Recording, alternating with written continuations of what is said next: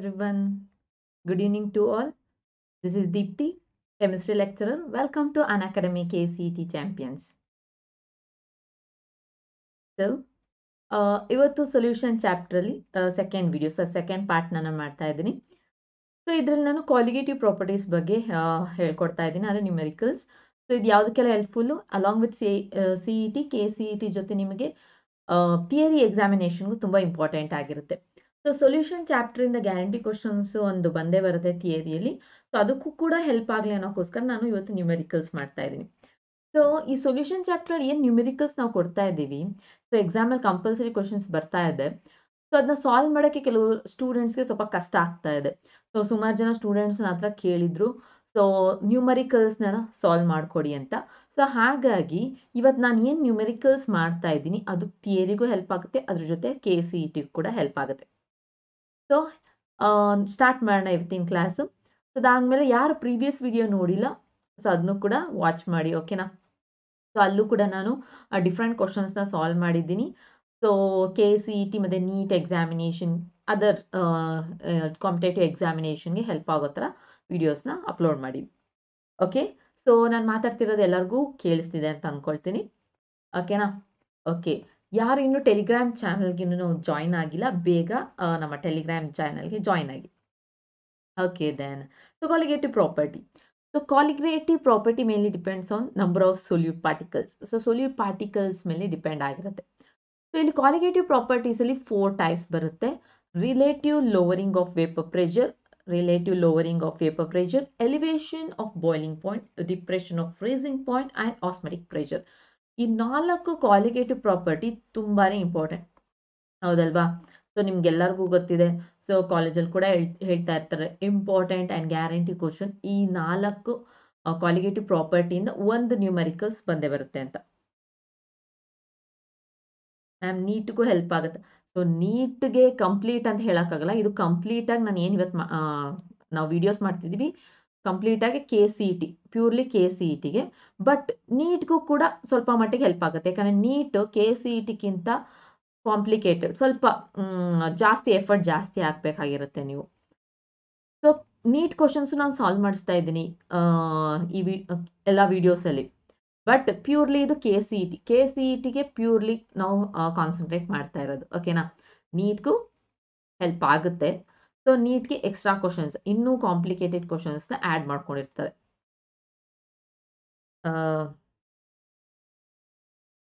So ಕಾಲರಾಜ್ ಅವ್ರಿಗೆ answer ಸಿಕ್ಕಿದೆ ಅಂತ ಅಂದ್ಕೊಳ್ತೀನಿ ಸೊ ನೀಟ್ ಕ್ವಶನ್ಸು ನಾನು ಸಾಲ್ವ್ ಮಾಡ್ತೀನಿ ನೀವು ನನ್ನ ಪ್ರೀವಿಯಸ್ ವೀಡಿಯೋಸ್ನ ನೋಡ್ತು ಅಂತಂದರೆ ನೀಟ್ ಕ್ವಶನ್ಸ್ ಆಗಿರಬಹುದು ಏಮ್ಸ್ ಏಮ್ಸಲ್ಲಿ ಕೊಟ್ಟಿರೋ ಕ್ವಶನ್ಸು ನಾನು ಸಾಲ್ವ್ ಮಾಡಿಸಿದ್ದೀನಿ ಸೊ ಎಲ್ಲ ಕಾಂಪಿಟೇಟಿವ್ ಎಕ್ಸಾಮ್ಸ್ ತಗೊಂಡೆ ನಾನು ಹೋಗ್ತಾ ಇರೋದು. ಮೇಯ್ನಾಗಿ ಕೆ ಸಿ ಟಿ ಕಾನ್ಸಂಟ್ರೇಟ್ ಮಾಡ್ತಿದ್ದೀನಿ ಅಷ್ಟೇ. ಕೆ ಸಿ ಇ ಟಿಯಲ್ಲಿ ನೀವು ಮ್ಯಾಕ್ಸಿಮಮ್ ಒಳ್ಳೆ ಸ್ಕೋರಿಂಗ್ ತಗೋಬೇಕು ಅದಕ್ಕೋಸ್ಕರ. Okay so colligative property relative lowering of vapour pressure so theory part ನಾನು ಹೇಳ್ಬಿಡ್ತೀನಿ. ಥಿಯರಿಯಲ್ಲಿ ನಿಮಗೆ ತ್ರೀ ಮಾರ್ಕ್ಸ್ ಇದ್ರ ಯಾವ್ದಾದ್ರು ಒಂದರಿಂದ ಒಂದು ಕ್ವಶನ್ ಕೊಟ್ಟೆ ಕೊಡ್ತಾರೆ. ಹೌದಲ್ವಾ? ಸೊ ಅದೆಲ್ಲರಿಗೂ ಗೊತ್ತಿದೆ ಅದು. So three three marks so ಸ್ಟೂಡೆಂಟ್ಸ್ಗೆ ಕೆಲವೊಂದು ಕನ್ಫ್ಯೂಷನ್ಸ್ ಇದೆ ಸಾಲ್ವ್ ಮಾಡ್ಬೇಕಾದ್ರೆ. ಸೊ ಫಾರ್ಮುಲಾಸ್ ಗೊತ್ತಿದೆ ಬಟ್ ಐಡೆಂಟಿಫಿಕೇಶನ್ ಏನು ಸೊಲ್ಯೂಟ್ ಮತ್ತು ಸಾಲ್ವೆಂಟ್ ಹೇಗೆ ಐಡೆಂಟಿಫೈ ಮಾಡೋದು ಕ್ವಶನಲ್ಲಿ ಅಂತ ಗೊತ್ತಾಗ್ತಿರಲ್ಲ. ಸೊ ಅದೇ ಮೇನ್ ಪ್ರಾಬ್ಲಮ್ ಆಗ್ತಿರೋದು ಕಾಲಿಗೇಟಿವ್ ಪ್ರಾಪರ್ಟಿ ಸೊಲ್ಯೂಷನ್ ಚಾಪ್ಟ್ರಲ್ಲಿ ಸೊ ಅದಕ್ಕೆ ಕ್ವಶನೇ ಅಟೆಂಡ್ ಮಾಡ್ತಿರಲ್ಲ. ನಾನು ಸುಮಾರು ಸತಿ ನೋಡಿದ್ದೀನಿ. Simple question actually question attend ಮಾಡ್ತಿರಲ್ಲ. ಓಕೆ ಸೊ ನೋಡ್ತಾ ಹೋಗೋಣ. First relative lowering of vapour pressure so relative lowering of vapour pressure C E ಬಂತು ಅಂದರೆ ನೋಡಿ ನಾನು ಫಾರ್ಮುಲಾಸ್ ಕೊಟ್ಟಿದ್ದೀನಿ. ಸೊ ಎರಡು ಥರ ಫಾರ್ಮುಲಾ ಇದೆ. ಸೊ ಸಿ ಟಿ ಅಂತ ಬಂದಾಗ ನಿಮಗೆ ಎರಡು ಥರ ಫಾರ್ಮುಲಾ ಮೇಲೆ ಕ್ವಶನ್ಸ್ ಅಪಿಯರ್ ಆಗ್ಬೋದು. ಬಟ್ ಥಿಯರಿ ಪಾರ್ಟಿಗೆ ಬಂದಾಗ ಮ್ಯಾಕ್ಸಿಮಮ್ ನಿಮಗೆ ಕ್ವಶನ್ ಹೇಗಿರುತ್ತೆ ಅಂದರೆ ಕ್ಯಾಲ್ಕುಲೇಟ್ ದಿ ಮೋಲಾರ್ ಮಾಸ್ ಅನ್ನೋದೇ ಇರುತ್ತೆ. ಎಮ್ನ ಕ್ಯಾಲ್ಕುಲೇಟ್ ಇದು ಕೂಡ ಕೊಟ್ಟಿರ್ತಾರೆ ಬಟ್ ಮ್ಯಾಕ್ಸಿಮಮ್ ನಿಮ್ಮ ಕ್ವಶನ್ಸು ನೀವು previous previous years question papers ನೋಡ್ತಾ ಹೋಗ್ತು ಅಂತಂದರೆ so maximum questions calculate molar mass ಅಂತಾನೆ ಕೊಟ್ಟಿರ್ತಾರೆ. ಓಕೆನಾ ಓಕೆ ಇಲ್ಲಿ relative lowering of vapour pressure so first ಒನ್ಗೆ formula ಬಂದು. ಸೊ ಇದೆರಡು ಫಾರ್ಮುಲಾ ನಿಮಗೆ ಬರುತ್ತೆ. ಓಕೆನಾ ಇಲ್ಲಿ ಫಸ್ಟ್ ಥಿಂಗ್ ಏನು ಮಾಡ್ತೀವಿ? ಸೊ ಇದನ್ನು ಯೂಸ್ ಮಾಡ್ಕೋತೀವಿ ಕೆಲವೊಂದ್ಸತಿ. ಈ ಫಾರ್ಮುಲಾ ಕೂಡ ಯೂಸ್ ಮಾಡ್ತೀವಿ. So X B is equal to so X B ಇಲ್ಲಿ ಎ ಆ್ಯಂಡ್ ಬಿ ಅನ್ನೋದನ್ನ ಹೇಳ್ಬಿಡ್ತೀನಿ. ಸೊ ಎ ಅಂತಂದ್ರೆ ಸಾಲ್ವೆಂಟ್ ಬಿ ಅಂತ ಇರೋದ್ರಲ್ಲಿ ಸೊಲ್ಯೂಟ್ ಓಕೆನಾ ಸೊ ಇದೊಂದು ನೆನ್ಪಿಟ್ಕೊಂಡಿರ್ಬೇಕು. ಎ ಅಂತ ಬರ್ದಿರೋ ಸಾಲ್ವೆಂಟ್ ಅಂಡ್ ಬಿ ಅಂತ ಬರ್ದಿರೋ ಸೊಲ್ಯೂಟ್ ಕೆಲವೊಂದ್ಸತಿ ಒನ್ ಆ್ಯಂಡ್ ಟೂ ಅಂತಾನು ಯೂಸ್ ಮಾಡ್ತೀವಿ. ಓಕೆನಾ ಸೊ ಸಾಲ್ವೆಂಟ್ ಅಂದ್ರೆ ಲಾರ್ಜರ್ ಕ್ವಾಂಟಿಟಿ ಹೌದಾ? ಲಾರ್ಜರ್ ಕ್ವಾಂಟಿಟಿಯಲ್ಲಿ ಏನಿರುತ್ತೆ ಅದು?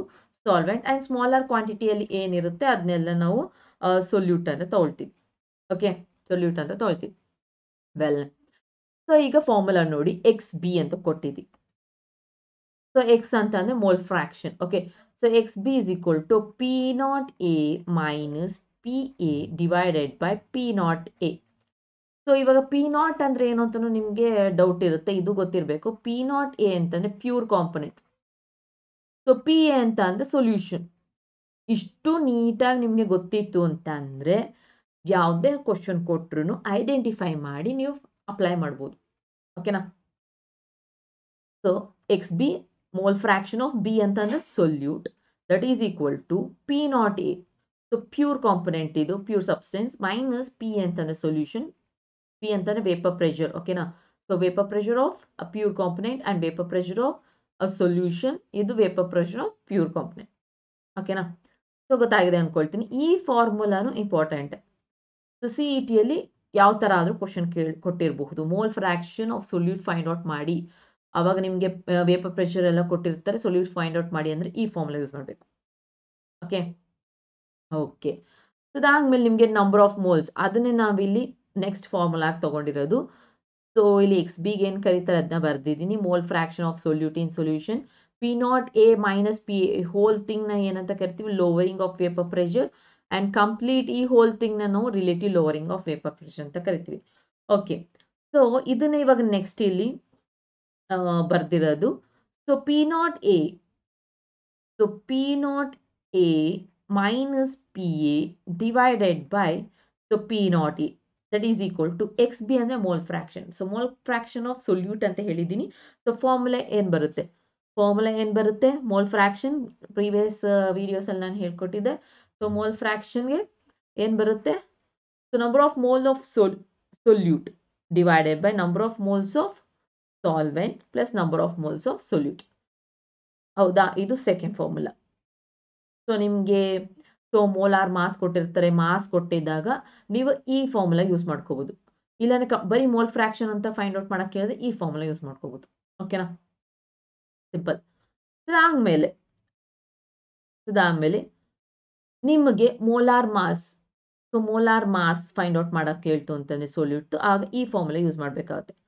ಸೊ ಇದು ಹೇಗಿದೆ ಅಂದರೆ M B is equal to so ಅಲ್ಲಿ ಕಂಪ್ಲೀಟಾಗಿ ಒಂದೇ ಲೈನಲ್ಲಿ ಬರೆದ್ಬಿಟ್ಟಿದ್ದೀನಿ, ಗೊತ್ತಾಗೋದಿಲ್ಲ ಅನ್ನೋಕ್ಕೋಸ್ಕರ ಈ ಥರ ಇನ್ನೊಂದ್ಸತಿ ಬರೀತಿದ್ದೀನಿ. M B is equal to W B into so W B into M A into P naught A divided by P naught A divided by W A into P naught A minus P ಓಕೆನಾ so molar mass of solute find out ಮಾಡೋಕ್ಕೆ ಹೇಳಿದಾಗ ನೀವು ಈ formula use ಮಾಡಬೇಕಾಗುತ್ತೆ. ಗೊತ್ತಾಗ್ತಿದೆ ಅಲ್ವಾ? So ಈ different ಫಾರ್ಮುಲಾಸ್ನ ನೀವು ನೋಟ್ ಮಾಡಿ ಇಟ್ಕೊಳ್ಳಿ, ಆಗ ನಿಮಗೆ ಸಾಲ್ವ್ ಮಾಡೋಕ್ಕೆ ಈಸಿ ಆಗುತ್ತೆ. ಐ ಹೋಪ್ ಅರ್ಥ ಆಗ್ತಿದೆ ಅಂತ. ಆಮೇಲೆ ಇಲ್ಲಿ ಎನ್ ಬಿ ಅಂತಂದ್ರೆ, ಏನಿದು? Number of moles number of ಮೋಲ್ಸ್ಗೆ formula ಏನು? ನಂಬರ್ ಆಫ್ ಮೋಲ್ಸ್ ಅಂತಂದ್ರೆ, ಇವಾಗ number of moles of solute ಅಂತ ತಗೊಂಡ್ರೆ mass of solute that is B divided by molar mass ಹೌದಲ್ವಾ molar mass of solute that is B ಹೌದಲ್ವಾ? So ಅದನ್ನ apply ಮಾಡಿ solve ಮಾಡ್ತೀರ ಸಿಂಪಲ್ ಆಗಿದೆ. ಸೊ ಫಾರ್ಮುಲಾಸ್ನ ಕಾನ್ಸಂಟ್ರೇಟ್ ಮಾಡಿ ಮತ್ತೆ ನೋಟ್ ಮಾಡ್ಕೋಬೇಕು ಕೀ ನೋಟ್ ಮಾಡ್ಕೋಬೇಕು. ಓಕೆನಾ ಓಕೆ ಸೊ ಇದು relative lowering of vapour pressure the next one elevation of boiling point elevation of boiling point so elevation of boiling point ಅಂತಂದರೆ the difference between the boiling of a solution and that of the pure solvent is called elevation in boiling point so ಅಂತಂದರೆ ಇದು. So delta T B ಓಕೆನಾ so delta T B is equal to T B minus T naught B so difference between the boiling of a solution ಅಂತ ಅಂದರೆ ಇಲ್ಲಿ T B ಅನ್ನೋದು solution so ಆಗಲೇ ನಾನು ಹೇಗೆ P naught A and P A ಹೇಳಿದೆ ಹಾಗೆ. So T B ಅಂತಂದರೆ solution and that of a pure solvent ಅಂತಂದರೆ ಟಿ ಬಿ ನಾಟ್ ಅಂತ ಬಂದಾಗ that is a pure solvent ಓಕೆನಾ ಪ್ಯೂರ್ ಸಾಲ್ವೆಂಟ್ ಅಂತ ಬರುತ್ತೆ. ಇದು ನೆನಪಿರಬೇಕು. ಡೆಲ್ಟಾ ಟಿ ಬಿ ಅಂತ that is elevation in boiling point well so the elevation is boiling point is directly proportional to the molality small M ಅಂದರೆ molality and the delta T B is equal to K B M proportionality constant so K B so K ಬಿನ ನಾವೇನಂತ ಕರಿತೀವಿ? So molar elevation constant ಅಂತ ಕರಿತೀವಿ ಓಕೆನಾ molal elevation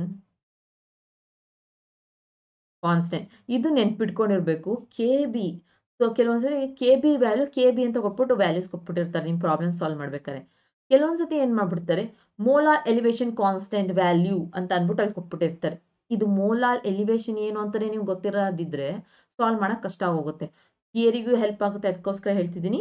so K ಬಿನ ಏನಂತ ಕರಿತೀವಿ? ಮೋಲಾ elevation constant R ಇನ್ನೇನು ಕರೀತಾರೆ? ಎಬಿಲಿಯೋಸ್ಕೋಪಿ ಕಾನ್ಸ್ಟೆಂಟ್ ನೆನ್ಪಿಟ್ಕೊ ಇರಬೇಕು ebullioscopic ebullioscopic constant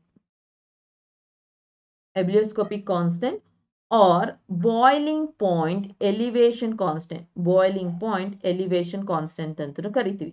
ಓಕೆನಾ ಈ ತ್ರೀ ನೇಮ್ಸ್ ಇದೆ. ಈ ತ್ರೀ ನೇಮ್ಸ್ನ ಬರೆದಿಟ್ಕೋಬಿಡಿ. ಓಕೆ ಸೊ ಪ್ರಾಬ್ಲಮ್ ಸಾಲ್ವ್ ಮಾಡಬೇಕಾದ್ರೆ ಹೆಲ್ಪ್ ಆಗುತ್ತೆ. ಯಾಕಂದರೆ ಕೆಲವೊಂದ್ಸರಿ ಕೆ ಬಿ ಅಂತ ಕೊಟ್ಬಿಟ್ಟು ವ್ಯಾಲ್ಯೂಸ್ನ ಕೊಟ್ಬಿಟ್ಟಿರ್ತಾರೆ. ಕೆಲವೊಂದ್ಸರಿ ಕೊಟ್ಟಿರಲ್ಲ. ಓಕೆನಾ ಅದಾದ್ಮೇಲೆ ಇನ್ನೊಂದು ಏನು ಅಂತ ಅಂದರೆ ಸೊ ಕೆ ಬಿ ಸೊ ಇದ್ರ ಯೂನಿಟ್ ಏನು? ಸೊ ಈ kelvin K G per mole ಓಕೆನಾ ಇದ್ರ ಯೂನಿಟ್ ಬಂದು kelvin K G per mole so ebullioscopic constant ಕೊಟ್ಟು ನಿಮಗೆ ವ್ಯಾಲ್ಯೂಸ್ ಕೊಟ್ಟಿರ್ತಾರೆ is K G kelvin per ಅಲ್ಲಿ ಇರುತ್ತೆ. ಓಕೆನಾ ಸೊ ಇಷ್ಟು ನೋಟ್ ಮಾಡ್ಕೊಂಡ್ರಾ? ಅದಾದಮೇಲೆ ಇಲ್ಲಿ formula this is the formula so ಇಲ್ಲಿ ಸೈಡಲ್ಲಿ ಇನ್ನೊಮ್ಮೆ ಬರೀತೀನಿ. M B is equal to so K B into W B into thousand into thousand divided by delta T B into W A ಈ formula apply ಮಾಡಿದ್ರೆ ತುಂಬ ಆಗಿ and ಈಸಿಯಾಗಿ ನೀವು ಫೈಂಡ್ ಔಟ್ ಮಾಡಬಹುದು. ಸೊ ಕೆಲವೊಂದು ಸತಿ ಏನು ಮಾಡ್ತೀವಿ? ಇಲ್ಲಿ ಡೈರೆಕ್ಟಾಗಿ ಡೆಲ್ಟಾ ಟಿ ಪಿ ಈ ಫಾರ್ಮುಲಾ ಅಪ್ಲೈ ಮಾಡಿಬಿಟ್ಟು ನಾವು ಸಾಲ್ವ್ ಮಾಡ್ತೀವಿ. ಸೊ ಅವಾಗ ಮೊಲಾಲಿಟಿ ಫಾರ್ಮುಲಾ ತಗೊಂಡು ಯೂಸ್ ಮಾಡಬೇಕಾಗುತ್ತೆ. ಎರಡು ಥರ ನಾವು ಫೈಂಡ್ ಔಟ್ ಮಾಡ್ಬೋದು. ಒಂದು ಇಲ್ಲೇ ಇದೇ ಫಾರ್ಮುಲಾ ಯೂಸ್ ಮಾಡ್ಕೊಂಡು ಫೈಂಡ್ ಔಟ್ ಮಾಡ್ಬೋದು. ಇಲ್ಲಿ ಎಮ್ಮನೆ ಮೊಲಾಲಿಟಿ ಮೊಲಾಲಿಟಿ ಅಂತಂದರೆ ಸೊ ನಿಮ್ಗೆ ಗೊತ್ತಿದೆ. So mass of solute divided by ಏನು? Mass of solvent in K Gs ಹೌದಲ್ವಾ? ಸೊ ಆ ಥರ ಬರುತ್ತೆ. ಸೊ ಆ ಥರ ಅಪ್ಲೈ ಮಾಡ್ಬಿಟ್ಟು ನೀವು ಮಾಡ್ಬೋದು. ಇಲ್ಲದಿದ್ದರೆ ಡೈರೆಕ್ಟಾಗಿ ಈ ಫಾರ್ಮುಲಾ ಹಾಕಿ ಆ್ಯಕ್ಚುಲಿ ಆಗಿ ನಮಗೆ ಆನ್ಸರ್ ಸಿಕ್ಬಿಡುತ್ತೆ. ಓಕೆ ಎಲ್ಲರಿಗೂ ಅರ್ಥ ಆಗಿದೆ ಅರ್ಥ ಆಗ್ತಿದೆ ಅಂತ ಅಂದ್ಕೊಳ್ತೀನಿ ಸೊ ಸೆಕೆಂಡ್ ಒನ್ ಇಲ್ಲಿ ಎಂ ಬಿ ಕಂಡುಹಿಡಬೇಕಂದ್ರೆ ಮೋಲಾರ್ ಮಾಸ್ ಆಫ್ ಸೊಲ್ಯೂಟ್ ಕಂಡುಹಿಡಬೇಕಾಗಿರೋದು ಸೊ ಅಲ್ಲಿ ಏನು ಕೊಡ್ತಾರೆ ಅದನ್ನ ಫೈಂಡ್ ಔಟ್ ಮಾಡಬೇಕಾಗುತ್ತೆ. ಕೆಲವೊಂದ್ಸತಿ ಕೆ ಬಿ ಫೈಂಡ್ ಔಟ್ ಮಾಡೋಕ್ಕಿರುತ್ತೆ ಕೆಲವೊಂದ್ಸತಿ delta T B find out ಮಾಡಬೇಕಾಗಿರುತ್ತೆ. ಅದಾದಮೇಲೆ, ಕೆಲವೊಂದ್ಸತಿ ಏನು ಮಾಡಿರ್ತಾರೆ? ಟಿ ಬಿ ಇಲ್ಲಾಂದ್ರೆ T B naught find out ಮಾಡಕ್ ಹೇಳಿರ್ತಾರೆ. ಅದನ್ನ ನೋಟ್ ಮಾಡ್ಕೋಬೇಕು. ಬರೀ ಎಂ ಬಿ ಫೈಂಡ್ ಔಟ್ ಮಾಡಕ್ ಕೊಟ್ಬಿಟ್ರೆ ತುಂಬಾ ಸಿಂಪಲ್ ಸೊ ಟಿ ಬಿ ಇಲ್ಲಾಂದ್ರೆ ಟಿ ಬಿ ನಾಟ್ ಸ್ಟೂಡೆಂಟ್ಸ್ ಇಲ್ಲಿ ಕನ್ಫ್ಯೂಷನ್ ಮಾಡ್ಕೋತೀರಾ. ಫಸ್ಟ್ ಥಿಂಗ್ ಇಲ್ಲಿ ನೋಡಿ ಟಿ ಬಿ ಅಂತಂದರೆ that is solution T B naught ಅಂದರೆ ಪ್ಯೂರ್ ಸಾಲ್ವೆಂಟ್ ಇದು ಕೂಡ ಐಡೆಂಟಿಫೈ ಮಾಡೋಕೆ ನಿಮ್ಗೆ ಗೊತ್ತಿರಬೇಕು ಅಲ್ಲಿ ಏನಾಗಿರುತ್ತೆ ಅನ್ನೋದು. ಓಕೆನಾ ಸೊ ಪ್ಯೂರ್ ಸಾಲ್ವೆಂಟ್ ಅಂದ್ರೆ ಇವಾಗ ವಾಟರ್ ಬೆನ್ಸಿನ್ ಈ ತರ ಹೇಳ್ಬಿಟ್ಟಿರ್ತೀವಿ. ಪ್ಯೂರ್ ಸಾಲ್ವೆಂಟ್ ಸೊ ಸೊಲ್ಯೂಷನ್ ಅಂದ್ರೆ ಏನು? ಸೊಲ್ಯೂಟ್ ಪ್ಲಸ್ ಸಾಲ್ವೆಂಟ್ ಹೌದಾ? ಮಿಕ್ಸ್ ಆಗಿರೋದು. ಸೊಲ್ಯೂಟ್ ಪ್ಲಸ್ ಸಾಲ್ವೆಂಟ್ ಮಿಕ್ಸ್ ಆಗಿ ಸೊಲ್ಯೂಷನ್ ಆಗಿರುತ್ತೆ. ಸೊ ಅದರದ್ದು ಟೆಂಪ್ರೇಚರ್ ಅರ್ಥ ಆಗಿದೆ ಅಲ್ವಾ? ಓಕೆ ಹಾಗಾದ್ರೆ ನೆಕ್ಸ್ಟ್ ಮೂವ್ ಆನ್ ಆಗೋಣ. So next one depression of a freezing point depression of freezing point so depression of freezing point ಅಂತ ಅಂದರೆ so difference between the difference between freezing point of pure solvent ನೋಡಿ boiling ಪಾಯಿಂಟ್ಗೆ ಇದು ಉಲ್ಟಾ ಇದೆ. So freezing point of pure solvent and that of a solution ಇಲ್ಲೇನು ಬರ್ತಾ ಇದೆ? First T F naught first T F naught minus T F ಅಂತ ಬರ್ತಿರೋದು. ಸೊ ಬಾಯ್ಲಿಂಗ್ ಪಾಯಿಂಟಲ್ಲಿ ಏನಾಯಿತು? T B minus T B naught ಬಂತು. ಇದನ್ನ ನೆನ್ಪಿಟ್ಕೊಂಡಿರಬೇಕು. ಸೊ ಡೆಲ್ಟಾ ಟಿ ಎಫ್ ಅಂತಂದರೆ T F naught minus T F ಓಕೆನಾ so this one is a pure solvent ಇದು ಸೊಲ್ಯೂಷನ್ ಓಕೆ ಸೊ ಇಲ್ಲೂ ಕೂಡ delta T F directly proportional to molality ಅಂತ ಕರಿತೀವಿ. And delta T F is ಕೊಟ್ಟು K F into molality ಅಂದರೆ K F ಅಂದರೆ constant that is molal depression constant or freezing point depression constant ಅಂತ ಕರಿತೀವಿ. R cryoscopic constant ನೆನ್ಪಿಟ್ಕೊಂಡಿರ್ಬೇಕು, ಇದು ಮೂರು ವರ್ಡ್ ಸೊ ಅಲ್ಲಿ ಎಬಿಲಿಯೋಸ್ಕೋಪಿಕ್ ಅಂತ ಕರೆದ್ವಿ, ಇಲ್ಲಿ cryoscopic constant and S I unit ಅವ್ರು ಕೇಳ್ತಾ ಇರ್ತಾರೆ theory ಪಾರ್ಟಲ್ಲಿ S I unit of K F ಆಗ್ಲೇ ಹೇಳ್ದಂಗೆ K ಬಿಗೂ kelvin K G per mole ಓಕೆನಾ kelvin K G per mole. And the finally the formula so formula ಏನಿದೆ? M B is equal to K F ಅಲ್ಲಿ K B ಇತ್ತು. ಆಮೇಲೆ W B into thousand into thousand divided by delta T F ಇಲ್ಲಿ. ಅಲ್ಲಿ T B ಇತ್ತು into W A so formula same to same ಇದೆ. Depression in freezing ಪಾಯಿಂಟ್ಗೂ ಮತ್ತೆ elevation in boiling ಪಾಯಿಂಟ್ಗೂ ಜಸ್ಟ್ ಇಲ್ಲಿ ಕೆ ಬಿ ಬದಲು ಕೆ ಎಫ್ ಟಿ ಬಿ ಬದಲು ಟಿ ಎಫ್ ಇದೆ. ಓಕೆನಾ? ನೋಟ್ ಮಾಡ್ಕೊಂಡ್ರಾ? ಇಂಪಾರ್ಟೆಂಟ್ ಫಾರ್ಮುಲಾ ಅದಾದಮೇಲೆ ಇದು ಗೊತ್ತಿರಬೇಕು. ಡೆಲ್ಟಾ ಟಿ ಎಫ್ ಸೊ ಯಾವ ಥರ ಪ್ರಾಬ್ಲಮ್ಸ್ ಕೊಡ್ತಾರೆ? ಸೊ ಅದ್ರ ಮೇಲೆ ನಿಮಗೆ ಫೈಂಡ್ ಔಟ್ ಮಾಡೋಕ್ಕೆ ಗೊತ್ತಿರಬೇಕು. ಓಕೆನಾ? ಐ ಹೋಪ್ ಎಲ್ಲರಿಗೂ ಅರ್ಥ ಆಗ್ತಿದೆ ಅಂತ ಇದು ನೋಟ್ ಮಾಡ್ಕೋತಿದ್ದೀರಾ ಅನ್ಕೋತೀನಿ. ಸೊ ಈ C E T class competitive exam ಏನು ಕ್ಲಾಸ್ ನೀವು ನೋಡ್ತಿರ್ತೀರ ಆಗ ಈ ಪಾಯಿಂಟ್ಸ್ನ ನೋಟ್ ಮಾಡ್ಕೋಬೇಕಾಗುತ್ತೆ. Okay okay then osmotic pressure so last qualitative property ಬಂದು ಆಸ್ಮೆಟಿಕ್ ಪ್ರೆಷರ್ ಸೊ ಏನು ಆಸ್ಮೆಟಿಕ್ ಪ್ರೆಷರ್ ಅಂತಂದರೆ ಫಸ್ಟ್ ಆಸ್ಮೋಸಿಸ್ ಅಂತಂದ್ರೆ ಏನು? The spontaneous movement of solvent molecule from the solution of lower concentration, from the solution of lower concentration to the higher concentration of the solution through semi-permeable membrane is called osmosis. ಇದು ನಾವು ಓದಿರ್ತೀರ so ಹಾಗಾಗಿ ಗೊತ್ತಿರುತ್ತೆ so ಈಗ osmotic pressure ಅಂದ್ರೆ ಏನು ಅವ್ರ formula ಏನು ಅಂತ ನೋಡೋಣ so osmotic pressure of a solution is defined as the pressure to be applied in the solution of higher concentration just to stop the osmosis. ಓಕೆನಾ ಸೊ ಇದಕ್ಕೆ ಫಾರ್ಮುಲಾ ಬಂದು So ಇಲ್ಲಿ ನೋಡ್ಬೋದು ನೀವು ಪೈ ಅಂತ ಕೊಟ್ಟಿದ್ದೀನಿ. Pi is directly proportional to C ಇಲ್ಲಿ pi ಅನ್ನೋದೇ osmotic pressure pi is directly proportional to the C ಅಂದ್ರೆ ಸಿ ಅನ್ನೋ ಕಾನ್ಸಂಟ್ರೇಷನ್ ಬರುತ್ತೆ. Okay so pi is equal to K C so K ಅನ್ನೋದು ಕಾನ್ಸ್ಟೆಂಟ್ ಆಗುತ್ತೆ. ಸೊ ಅದನ್ನ pi is equal to C R T ಅಂತಲೂ ತಗೊಳ್ತೀವಿ. Pi is equal to C R T ಓಕೆನಾ so if ಅದಾದ್ಮೇಲೆ ನೆಕ್ಸ್ಟ್ ಫಾರ್ಮುಲಾ ಅಪ್ಲೈ ಮಾಡೋಣ next if N B moles of solute is dissolved in V litres of solution ಅಂತಂದರೆ ನೋಡಿ formula ಒಂದು pi ಇಸ್ಗಳು C R T ಒಂದು help ಆಗುತ್ತೆ. ಅದಾದ್ಮೇಲೆ so C is equal to ಅಂದರೆ concentration number of moles divided by volume in litres so next ಈ formula use ಆಗುತ್ತೆ. So pi is equal to C R T so ಇಲ್ಲಿ ಸಿಗೆ ಏನು ಮಾಡ್ತೀವಿ? N B divided by V ಅಂತ ಹಾಕೊಂಡಿದ್ವಿ. N B divide by V so ಈ formula C T help ಆಗುತ್ತೆ. ಅದ್ರ ಜೊತೆ ಅದು ಬಿಟ್ಟರೆ ಈ ಫಾರ್ಮುಲಾ ಓಕೆನಾ ಸೊ ನೀವು ಯೂಶ್ವಲಿ ಥಿಯರಿಗೆ ಯೂಸ್ ಮಾಡೋದೆಲ್ಲ ಮೊಲಾರ್ ಮಾಸ್ ಫಾರ್ಮುಲಾನೇ ಯೂಸ್ ಮಾಡ್ತೀರಾ? ಸೊ ನಿಮಗೆ ಸಿ ಇ ಟಿಗೆ ಬಂದಾಗ ಡಿಫ್ರೆಂಟ್ ಫಾರ್ಮುಲಾಸು ಯೂಸ್ ಮಾಡಬೇಕಾಗಿರುತ್ತೆ. ಅಂದರೆ ಕ್ವಶನ್ ಹೇಗೆ ಕೇಳಿರ್ತಾರೆ ಅದ್ರ ಮೇಲೆ. ಸೊ ಇದು M B is equal to molar mass of solute is equal to WB R into T divided by V volume and pi into pi ಅಂತಂದ್ರೆ ಆಸ್ಮೆಟಿಕ್ ಪ್ರೆಷರ್ ಪೈ ಅನ್ನೋದೇ osmotic pressure P ಅಂತ ಹುಡ್ಕೋಕ್ ಹೋಗ್ಬೇಡಿ ಇಲ್ಲಿ. Pi ಅಂತಂದ್ರೆ osmotic pressure ಓಕೆನಾ V ಅಂದರೆ volume so T temperature R so gas constant and W B so weight of solute so ಮೇನಾಗಿ ಇಲ್ಲಿ ಸೊಲ್ಯೂಟ್ ಕಾನ್ಸಂಟ್ರೇಟ್ ಮಾಡಬೇಕಾಗುತ್ತೆ.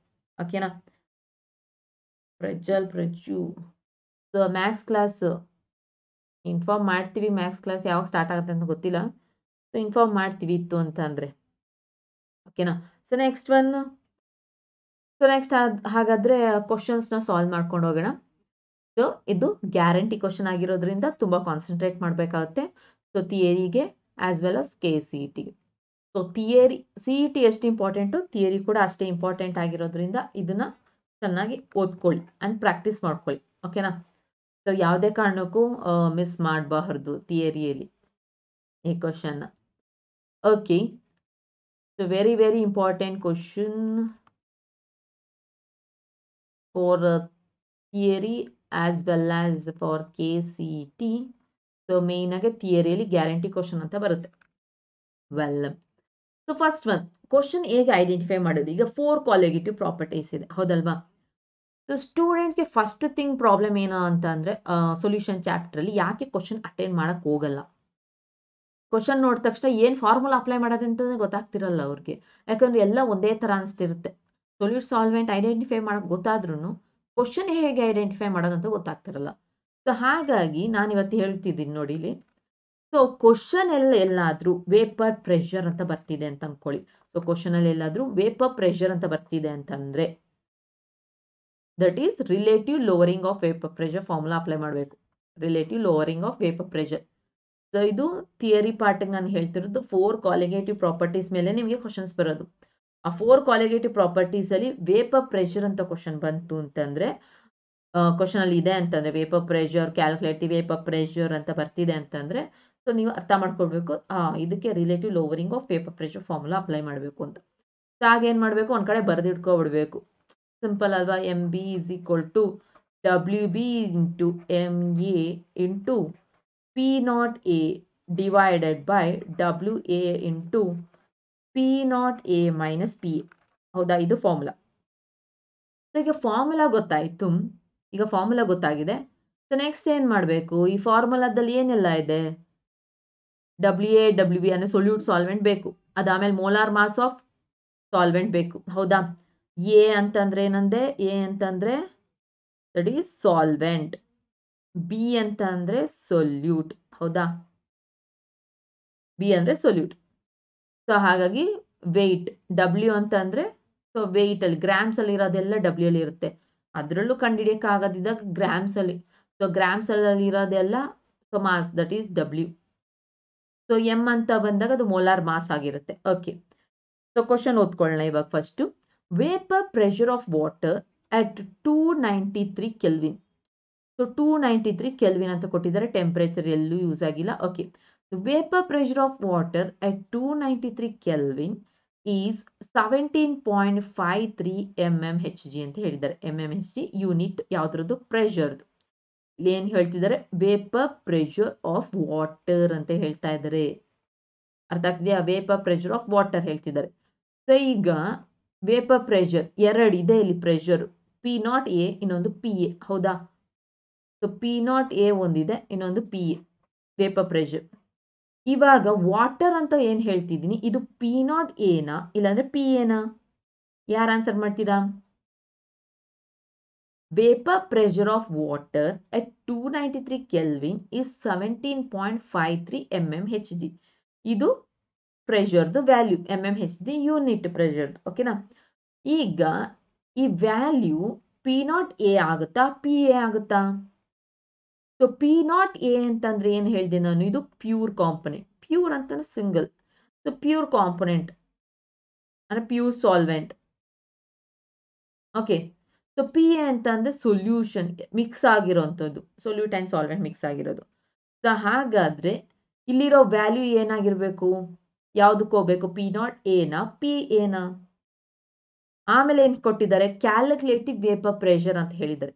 Calculate the vapour pressure of water at two ninety three kelvin when twenty five gram of glucose is dissolved in two sorry four fifty gram of water ಅಂತ ಕೊಟ್ಟಿದ್ದಾರೆ.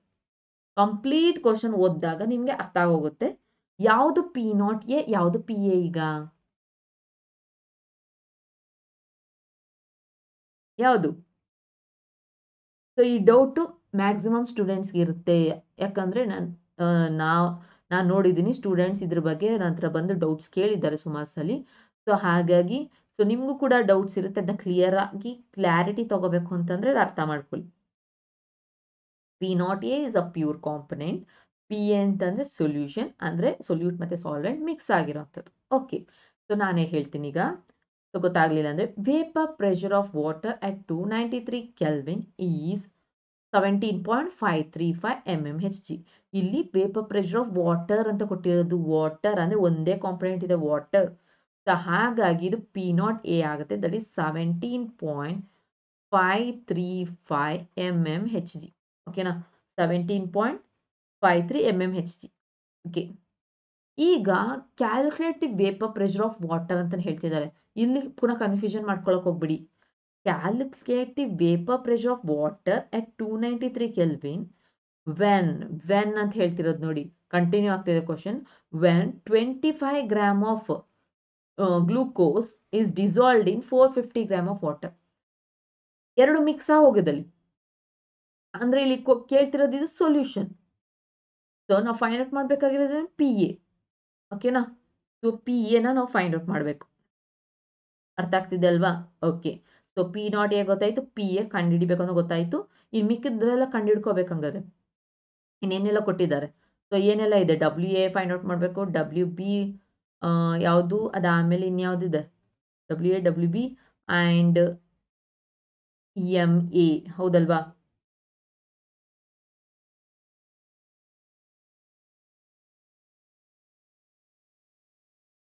Okay so M A ಮತ್ತೆ M B okay M A and M B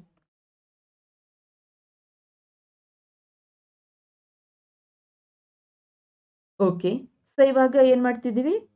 So W A W A ಏನು? So W A ಅಂತಂದ್ರೆ ಏನು? A ಅಂದರೆ solvent so B ಅಂತಂದ್ರೆ solute ಹೌದಲ್ವಾ? A ಅಂದರೆ ಸಾಲ್ವೆಂಟ್ ಬಿ ಅಂದರೆ ಸೊಲ್ಯೂಟ್ ಸೊ ಎ ಅಂತಂದ್ರೆ solvent that is larger quantity so ಹಾಗಾಗಿ ಇದು ಡಬ್ಲ್ಯೂ ಎ ಆಗುತ್ತೆ. ಇದು ಬಂದು ಡಬ್ಲ್ಯೂ ಬಿ ಆಗುತ್ತೆ. ಹೌದಾ? So W A and W B that is four fifty gram of water and twenty five gram of ಏನು ಬಂತು? Twenty five gram solute that is glucose ಇದು ಗ್ಲೂಕೋಸ್ ಸೊ ಇದೇನಾಯಿತು?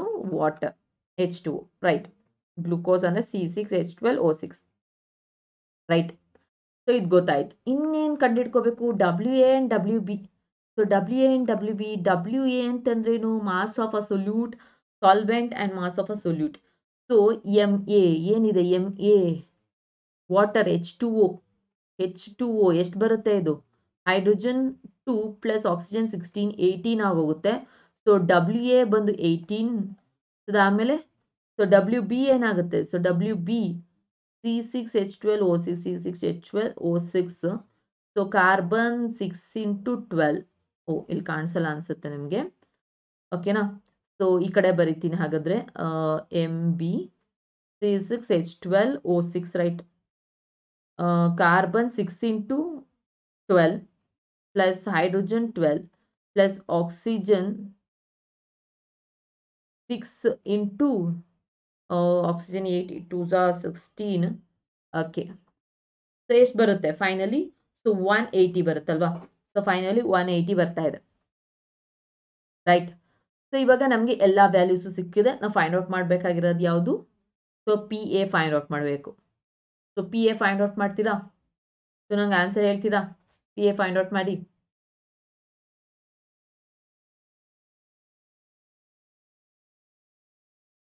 ಸೊ ಏನು ಬಂದಿದೆ ವ್ಯಾಲ್ಯೂಸ್ನಲ್ಲಿ ಅಪ್ಲೈ ಮಾಡಿ so ನಿಮಗೆ ಆನ್ಸರ್ ಸಿಗುತ್ತೆ.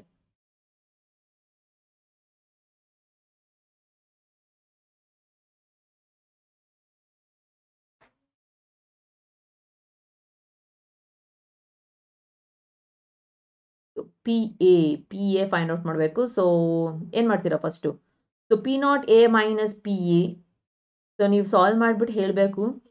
So W B into M A into P naught A divided by so W A into so M B ಆಗುತ್ತೆ. ಹೌದಲ್ವಾ?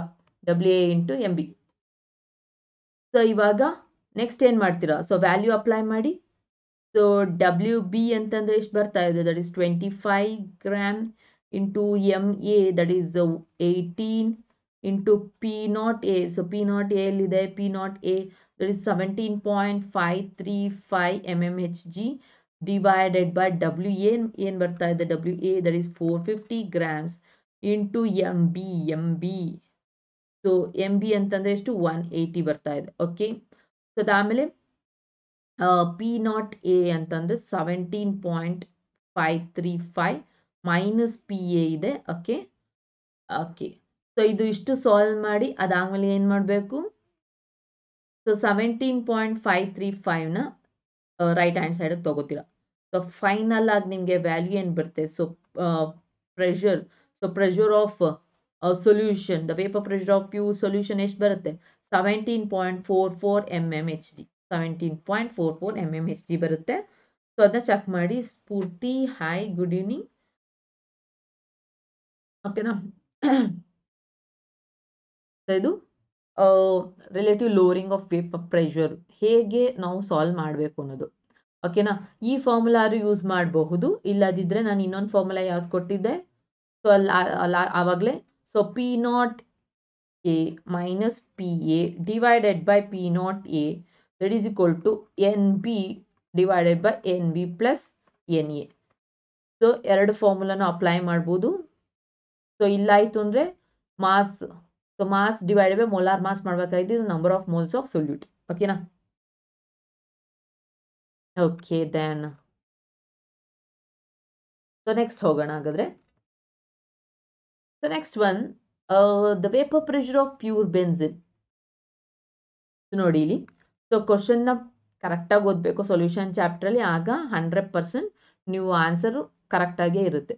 The vapour pressure of a pure benzene ಅಲ್ಲಲ್ಲೇ note ಮಾಡ್ಕೊಬಿಡಿ ಕ್ವಶನಲ್ಲಿ ದ ವೇಪರ್ ಪ್ರೆಷರ್ ಅಂದ ತಕ್ಷಣ relative lowering of vapour pressure formula apply ಮಾಡಬೇಕು. ಹೌದಾ? Relative lowering of vapour pressure formula apply ಮಾಡಬೇಕು. ಓಕೆ ಪ್ಯೂರ್ ಬೆನ್ಸಿನ್ ಅಂತ ಹೇಳ್ತಾ ಇದ್ದಾರೆ. Okay pure benzene at a certain temperature is zero point five zero bar so ನೋಡಿ ಇಲ್ಲಿ students ಪುನಃ ಎಲ್ಲಿ ತಪ್ಪು ಮಾಡ್ತೀರಂತ. ಇಲ್ಲಿ ದ ವೇಪರ್ ಪ್ರೆಷರ್ ಆಫ್ ಪ್ಯೂರ್ಗೆ ಬೆನ್ಸಿನ್ ಫುಲ್ ಕಂಪ್ಲೀಟ್ ಸೆಂಟೆನ್ಸ್ ಓದಬೇಕು. ಅಟ್ ಸರ್ಟನ್ ಟೆಂಪ್ರೇಚರ್ ಇಲ್ಲಿ ಟೆಂಪ್ರೇಚರ್ ಅಂತ ಬಂದ್ಬಿಡುತ್ತೆ. ಕೆಲವೊಂದ್ಸತಿ ಏನು ಮಾಡ್ತೀರಿ? ಟೆಂಪ್ರೇಚರ್ ಅಂತ ಬರೆದು ನೀವು ಟೆಂಪ್ರೇಚರ್ಗೆ ವ್ಯಾಲ್ಯೂ ಇದಿರಬೇಕು ಅಂತ ಅನ್ಕೊಬಿಡ್ತೀರ. ಕ್ವಶನ್ ಅರ್ಥ ಮಾಡ್ಕೋಬೇಕು, ಆಮೇಲೆ ಯೂನಿಟ್ ನಾವು ನೋಡಬೇಕು. So M M H G so bar ಈ ಥರ ಎಲ್ಲ ಬಂದಾಗನೇ ಅದು ವೇಪರ್ ಪ್ರೆಷರ್ ಸೊ ಪ್ರೆಷರ್ದು ಯೂನಿಟ್ ಆಗಿರುತ್ತೆ. ಓಕೆನಾ ಇದು ಟೆಂಪ್ರೇಚರ್ ವ್ಯಾಲ್ಯೂ ಅಲ್ಲ, ಇದು pressure value okay A non-volatile non-electrolyte solid weighing 0.5 gram when added to 39 gram of benzene. So molar mass 78 gram per mole. Vapor pressure of solution is vapor pressure of solution is ನೋಡಿ ಎರಡು ಸರಿ vapour pressure ಬಂದಿದೆ so vapour pressure of a solution is zero point eight four five bar what is the molar mass of the solid substance ಅಂತ ಕೇಳಿರೋದು ನಾವು ಕಂಡುಹಿಡಬೇಕಾಗಿರೋದೇನು? What is the molar mass of the solid substance so M B find out ಮಾಡಬೇಕಾಗಿರೋದು. ಹೌದಾ? M B find out ಮಾಡಬೇಕಾಗಿರೋದು. ಅರ್ಥ ಮಾಹಿತಿ ಲೋಕ good evening ಮಾಹಿತಿ ಲೋಕ? ಓಕೆ ಈಗ ಕಂಪ್ಲೀಟ್ ಮಾಡ್ಬಿಡ್ತೀನಿ ನಾನೀಗ. So the vapour pressure of pure benzene pure ಅಂತ ಬಂದಾಗ ಏನು ಬರುತ್ತೆ? ಪಿ ನಾಟ್ ಅಂತ ಬರುತ್ತೆ. ಪಿ ನಾಟ್ ಎ ಪ್ಯೂರ್ ಹೌದಾ? So P nought A pure benzene at certain temperature 0.50 bar 0.850 bar okay ಇದು ಸಿಕ್ಕಿದೆ. ಸೊ ನೆಕ್ಸ್ಟ್ ಏನು ಬೇಕು ನಮಗೆ? ಪಿ ಎ ಬೇಕು. ಹೌದಾ? ಫಾರ್ಮುಲಾ ಬರ್ಕೊಂಡ್ರೆ ನಮಗೆ ಗೊತ್ತಾಗೋಗುತ್ತೆ. ಸೊ ಫಾರ್ಮುಲಾ ಏನು? Vapour relative lowering of pressure M B is equal to W B into M A into P nought A divided by W A into P nought A minus P A ಹೌದಾ? Okay ಈಗ P A ಅಂತಂದರೆ solution ಹೌದಾ? Solution ಇಲ್ಲಿ ನೋಡಿ vapour pressure of the solution ಅಂತ ಕೊಟ್ಟಿದ್ದೀನಿ. That is zero point eight four five bar eight four five bar ಓಕೆನಾ ಎರಡು ಬರ್ಕೊಂಡಾಯ್ತು. ಸೊ ನೆಕ್ಸ್ಟ್ ಇನ್ನೇನಿದೆ? And non volatile non electrolyte solid weighing ಗೊತ್ತಾಗದಿದ್ದಾಗ unit ನೋಡ್ಬಿಟ್ಟೆ ಕಂಡುಹಿಡ್ಬೋದು ಗ್ರಾಮ್ಸಲ್ಲಿ ಬರೋದು ಯಾವುದು? ವೆಯ್ಟ್ ಹೌದಾ? ಸೊ ಇದರಲ್ಲಿ ಝೀರೋ ಪಾಯಿಂಟ್ ಫೈವ್ ಕಮ್ಮಿ ಇದೆ, ಇದು ಜಾಸ್ತಿ ಇದೆ. ಇಲ್ಲೇ ಗೊತ್ತಾಯಿತು. ಇದು ಸೊಲ್ಯೂಟ್ ಇದು ಸಾಲ್ವೆಂಟ್ ಸೊಲ್ಯೂಟ್ನ ಎ ಸಾರಿ ಸಾಲ್ವೆಂಟ್ನ ಎ ಇಂದ ರೆಪ್ರೆಸೆಂಟ್ ಮಾಡ್ತೀವಿ. ಸೊಲ್ಯೂಟ್ನ ಬಿ ಇಂದ ರೆಪ್ರೆಸೆಂಟ್ ಮಾಡ್ತೀವಿ. ಓಕೆನಾ ಓಕೆ ಸೊ ಹಾಗಾದರೆ ಇದು ಡಬ್ಲ್ಯೂ ಎ ಮತ್ತು ಡಬ್ಲ್ಯೂ ಬಿ ಬರ್ಕೊಬೇಡಣ್ವಾ ಸೊ ಡಬ್ಲ್ಯೂ ಎ ಅಂತಂದರೆ ತರ್ಟಿ ನೈನ್ ಗ್ರಾಮ್ಸ್ ಬರ್ಕೋಬೇಕಾದ್ರೂ ಮಿಸ್ಟೇಕ್ ಮಾಡಬಾರ್ದು ಡಬ್ಲ್ಯೂ ಬಿ ಅಂದರೆ ಜೀರೋ ಪಾಯಿಂಟ್ ಫೈವ್ ಗ್ರಾಮ್ಸ್ ನಿಧಾನಕ್ಕೆ ಮಾಡಿ ಥಿಯರಿ ಎಕ್ಸಾಮ್ಸಲ್ಲಿ ಓಕೆನಾ ಓಕೆ ಸಿ ಇ ಟಿಯಲ್ಲಿ ಮಾತ್ರ ಬೇಗ ಬೇಗ ಮಾಡಬೇಕಾಗತ್ತೆ. ಓಕೆ ಇವಾಗ ಎಲ್ಲ ಆಯಿತಾ? Okay P not A next okay so ಇನ್ನೊಂದು ಎಂ ಎ ಎಂ ಎ ಅಂತಂದರೆ ಯಾವುದು? ಎಂ ಎ ಅಂತಂದರೆ ಸಾಲ್ವೆಂಟ್ ಸಾಲ್ವೆಂಟ್ ಯಾವುದು ಸಾಲ್ವೆಂಟ್ ಬಂದಿರೋದು ನಮಗೆ? ಎ ಎ ಎ ಯಾವುದು ಸಾಲ್ವೆಂಟ್ ಅದು solvent thirty nine gram of benzene ಆ ಬೆನ್ಸಿನ್ ಪಕ್ಕನೇ ನಿಮಗೆ ಮೊಲಾರ್ ಮಾಸ್ ಕೊಟ್ಟಿರ್ತಾರೆ. ಅದೇ ಎಂ ಎ ಅರ್ಥ ಆಗ್ತಿದೆಯಾ? ಸೊ ಬೆನ್ಸಿನ್ ಮೊಲಾರ್ ಮಾಸ್ ಅವರೇ ಕೊಟ್ಬಿಟ್ಟಿದ್ದಾರೆ M A that is seventy eight gram per mole ಹೌದಾ? Gram per mole well so ಅದನ್ನು ಇವಾಗ ಎಲ್ಲಾನು ಅಪ್ಲೈ ಮಾಡಿ ತಗೋಣ ಲಿಪಿಕಾಕ್ಷಯ ಹಾಯ್ ಗುಡ್ ಈವ್ನಿಂಗ್ ಲಿಪಿಕಾಕ್ಷಯ. ಸೊ ಇವತ್ತು ಬೇಗ ಬ ಕಾಲೇಜ್ ಬಿಟ್ಟಿದೆ ಅನಿಸುತ್ತೆ? ಓಕೆ ಸೊ ಇದನ್ನು ಅಪ್ಲೈ ಮಾಡೋಣ ಈಗ. So W B zero point five into so M A ಏನಿದೆ? Seventy eight into P nought A zero point eight five zero divided by so divided by ಇನ್ನೇನಿದೆ? W A that is thirty nine into P nought A minus P A ನಿಮ್ಗೆ ಇದು ಕಷ್ಟ ಆಗ್ತಿದೆ ಅಂದರೆ ಫಸ್ಟೇ solve ಮಾಡ್ಕೊಡ್ಬೇಕು, ಇಲ್ಲೇ ಸಾಲ್ವ್ ಮಾಡ್ಕೊಡ್ಬೇಕು. Zero point eight five zero minus zero point eight four five ಓಕೆನಾ ಎಂ ಬಿ ಫೈಂಡ್ ಔಟ್ ಮಾಡ್ತೀರಾ? M B is equal to ಎಷ್ಟು ಬರುತ್ತೆ ವ್ಯಾಲ್ಯೂ ನಿಮಗೆ? ಎಂ ಬಿ ವ್ಯಾಲ್ಯೂ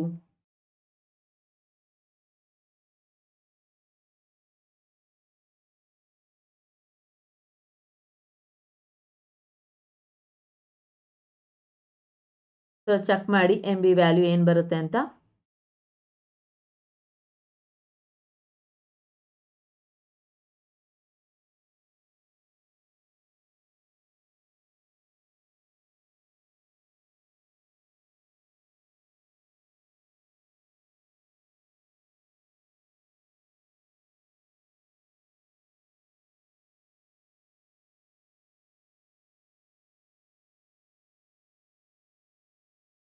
ಚೆಕ್ ಮಾಡ್ತಿದ್ದೀರಾ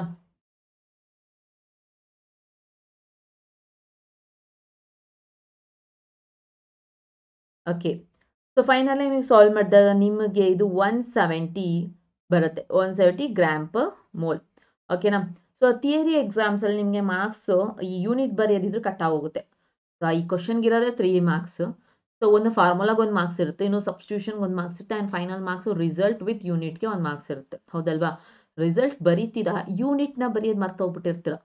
ಸೊ ಇಲ್ಲಾಂದ್ರೆ ಯೂನಿಟೇ ಗೊತ್ತಿರಲ್ಲ. ಸೊ ಹಾಗಾಗಿ ನೆನ್ಪಿಟ್ಕೊಂಡಿರ್ಬೇಕು. ಇಲ್ಲಿ ನೋಡಿ ಯೂನಿಟ್ ಮೋಲಾರ್ ಮಾಸ್ ಅಂತ ಬರ್ತಿದ್ದಂಗೆ ಗ್ರಾಮ್ ಪರ್ ಮೋಲ್ ಸೊ ಗೊತ್ತಾಗದಿದ್ದಾಗ ಅಲ್ಲೇ ಕೊಟ್ಟಿರ್ತಾರೆ ಕ್ವಶನಲ್ಲಿ ಸೊ ಗ್ರಾಮ್ ಪರ್ ಮೋಲ್ ಆಗಿರುತ್ತೆ. So ಪ್ರೆಷರ್ದು unit M M H D R bar ಅಂದ್ರೆ ಯಾವ್ದು ಯೂನಿಟ್ ಕೊಟ್ಟಿರ್ತಾರೆ? ಸೊ ಒಂದು ಪ್ರೆಷರ್ ಕೊಟ್ಟಿರ್ತಾರೆ, ಅದು ಬಾರಲ್ಲಿರುತ್ತೆ ಸೊ ರಿಸಲ್ಟ್ ಆನ್ಸರ್ ಕೂಡ ಸೊ ಬಾರ್ ಅಂತ ಬರಿಬೇಕಾಗುತ್ತೆ. ಸೊ ಇಲ್ಲ ಎಂ ಎಂ ಎಚ್ ಜಿ ಅಲ್ಲಿ ಕೊಟ್ಟಿತ್ತು ಅಂದರೆ ಒಂದು ಪ್ರೆಷರ್ ಇನ್ನೊಂದು ಪ್ರೆಷರ್ ನಿಮ್ಗೆ ಫೈನಲ್ ಆಗಿ ರಿಸಲ್ಟ್ ಬಂದಾಗಲೂ ಎಂ ಎಂ ಎಚ್ ಜಿ ಅಂತ ತಗೋಬೇಕು. ಓಕೆ ಸೊ ಅದಾದ್ಮೇಲೆ ಇನ್ನು weight weight of solute solvent ಎಲ್ಲ ಗ್ರಾಮ್ಸಲ್ಲಿ ಇರುತ್ತೆ. ಸೊ ನೋಡ್ತಿದ್ದಂಗೆ ಐಡೆಂಟಿಫೈ ಮಾಡ್ಕೋಬೇಕು ಗ್ರಾಮ್ಸಲ್ಲಿ ಓಕೆ ಓಕೆನಾ ಸೊ ಫೈನಲಿ ಅದೇ ಯೂನಿಟ್ ಆಗಿರುತ್ತೆ. One seventy gram per mole one seventy gram per mole ಓಕೆನಾ okay then next move on ಆಗೋಣ. So next thirty sorry third ಬಂತ so third one question so question ಓದ್ತಿದ್ದಂಗೆ ನಮಗೆ ಗೊತ್ತಾಗ್ತಾ ಇದೆ ಯಾವ ಫಾರ್ಮುಲಾ ಅಪ್ಲೈ ಮಾಡಬೇಕು ಅಂತ. ಹೌದಲ್ವಾ? Eighteen gram of glucose is dissolved in one K G of water in a sauce pan at what temperature will boil water boils at one point zero one three bar so ಇಲ್ಲಿ K B value ಕೊಟ್ಟಿದ್ದಾರೆ ಓಕೆನಾ so K B value of water ಕೊಟ್ಟಿದ್ದಾರೆ.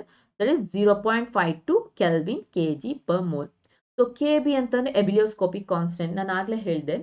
So K B value ಡೈರೆಕ್ಟಾಗಿ ಕೊಟ್ಟಿರ್ತಾರೆ ಒಂದೊಂದ್ಸತಿ ಕೆಲವೊಂದ್ಸತಿ ಕೊಡಲ್ಲ ಹಂಗೆ. So ಅದ್ರ ಬದಲು ಏನ್ ಮಾಡ್ಬಿಡ್ತಾರೆ? Ebullioscopic constant is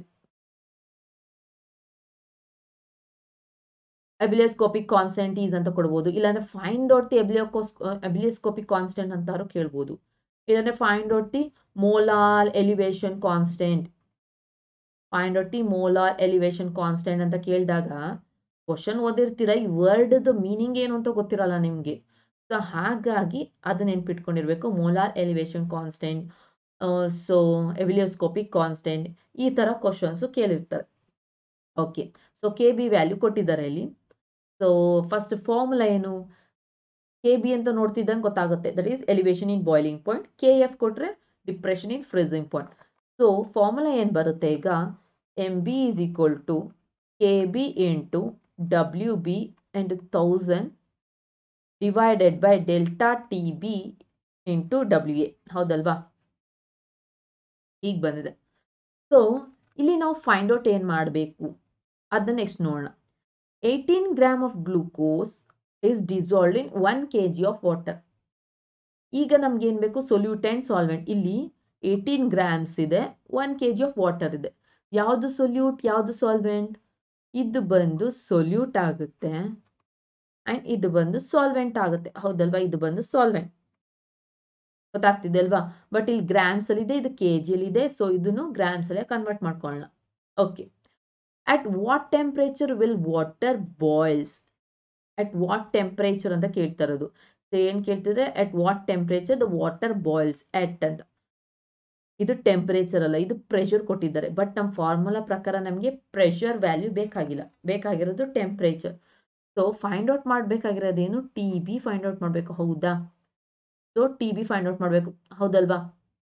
ಹೇಗೆ ಫೈಂಡ್ ಔಟ್ ಮಾಡೋದು ಇವಾಗ T B okay so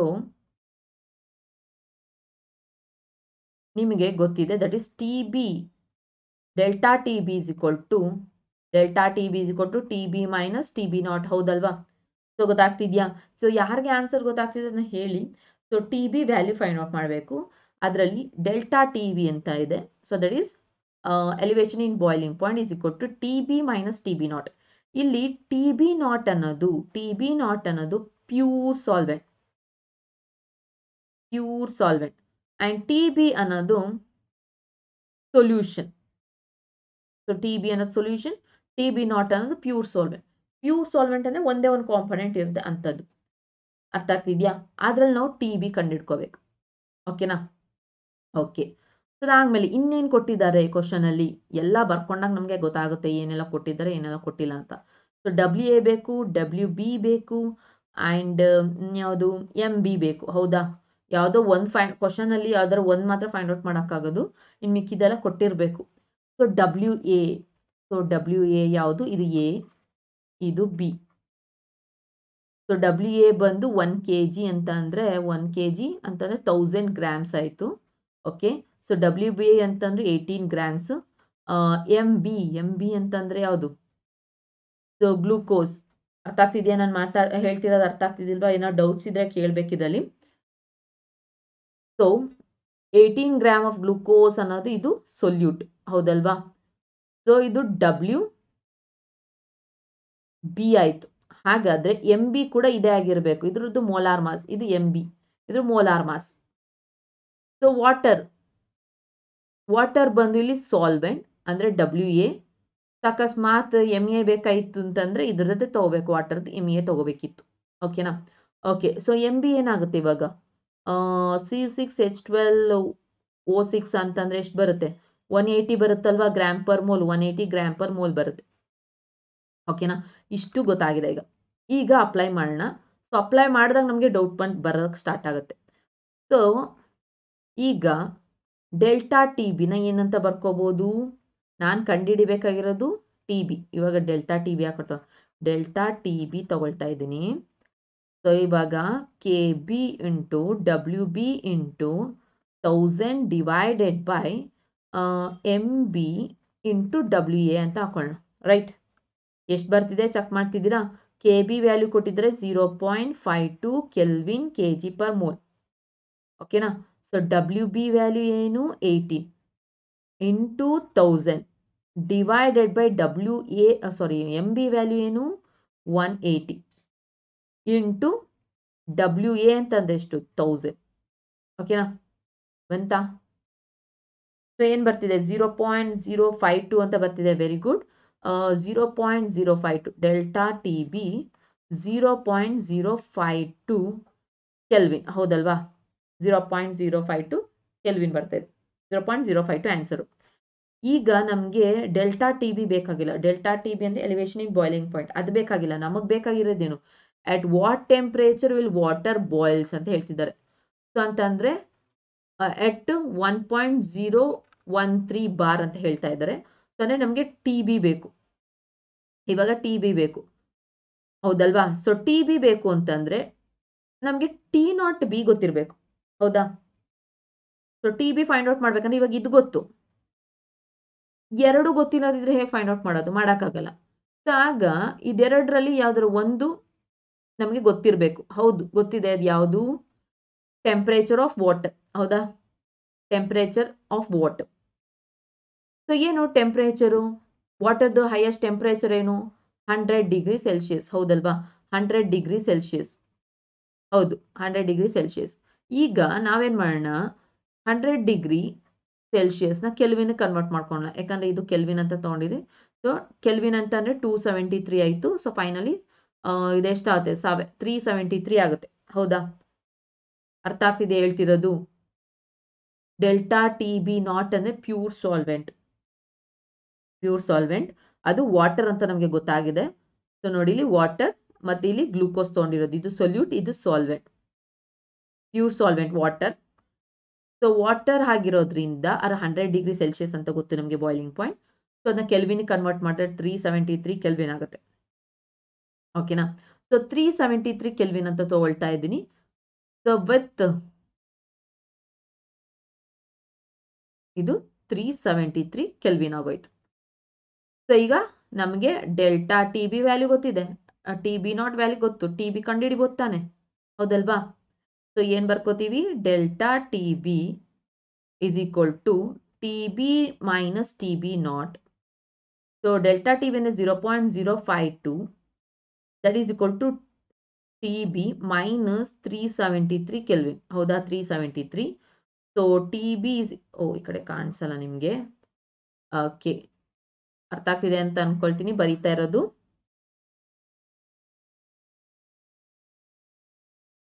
Yes hundred degree Celsius or three seventy three Lipikakshi very good so that is so final answer ಏನ್ ಬರುತ್ತೆ? T B is equal to ಏನ್ ಬರುತ್ತೆ? Zero point zero five two plus three seventy three ಬರುತ್ತಲ್ವಾ? S three seventy three ಬರುತ್ತೆ. So final answer ನಿಮ್ಗೆ ಏನು ಬರುತ್ತೆ? That is three seventy three point three seventy three point zero so Lipikakshaya answer ಮಾಡಿದ್ದಾರೆ. Very good three seventy three point zero five ಅರ್ಥ ಆಗಿದೆ ಅಲ್ವಾ? So ನೀವು ಬರೀ ಟೆಕ್ಸ್ಟ್ ಬುಕ್ ಅಲ್ಲಿ ಕ್ವಶನ್ಸ್ ಅಲ್ಲದೆ ಪ್ರೀವಿಯಸ್ ಅಲ್ಲಿ ಏನು ಕ್ವಶನ್ಸ್ ಕೊಟ್ಟಿದ್ರು ಥಿಯರಿಯಲ್ಲಿ ಅದನ್ನ ಕೂಡ ನೋಟ್ ಮಾಡಬೇಕಾಗುತ್ತೆ. ಸೊ ಕ್ವಶನ್ ಸ್ವಲ್ಪ ಡಿಫ್ರೆಂಟ್ ಆಗಿರುತ್ತೆ. ಪ್ರತಿ ವರ್ಷ ಕ್ವಶನ್ಸ್ನ ವೇರಿ ಮಾಡ್ತಿರ್ತಾರೆ. ಸೊ ಅದ್ರದ್ದು ಸೊಲ್ಯೂಷನ್ ಫೈಂಡ್ ಔಟ್ ಮಾಡ್ಕೊಳ್ಳಿ. ಸೊ ಇವಾಗ ನಾನು ಫೋರ್ತ್ ಒನ್ ಕೊಟ್ಟಿರೋದು ಪ್ರೀವಿಯಸ್ ಸೊ ಅಂದರೆ for ten years question papers check ಮಾಡಿದಾಗ ಇದು ಇನ್ನೊಂದು ಕ್ವಶನ್ ಸಿಕ್ಕಿರೋದು. So the boiling point of solution ಓಕೆನಾ so the boiling point of solution ನೋಡಿ ಇದು ಕೂಡ ಕೆ ಬಿ ಬರ್ತಾ ಇದೆ. ಸೊ ಹಾಗಾಗಿ elevation in boiling point so formula ಬರ್ಕೊಬಿಡೋಣ. M B is equal to K B into W B into thousand divided by divided by delta T B into W A ಹೌದಲ್ವಾ? So formula ಬರ್ಕೊಂಡ್ವಿ. So solve ಮಾಡಿ try ಮಾಡಿದ್ದು, ಹೇಗೆ solve ಮಾಡೋದು ಅಂತ.